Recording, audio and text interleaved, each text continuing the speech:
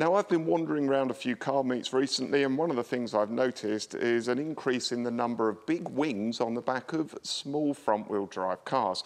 Now, if you look at this car, it's four-wheel drive, it's got a nice big wing on the back, and it looks great, and it actually serves a purpose because it's putting downforce on the back of the car.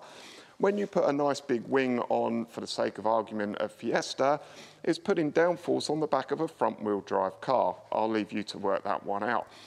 But what you've got to remember when you've got your big wing is this one from the factory, it's got no sharp edges on it. And if I walked into it, I'm not going to come to any harm. If you put a nice big tea tray on the back of your Clio or Fiesta and somebody walks into it, can they poke their eye out on your big wing?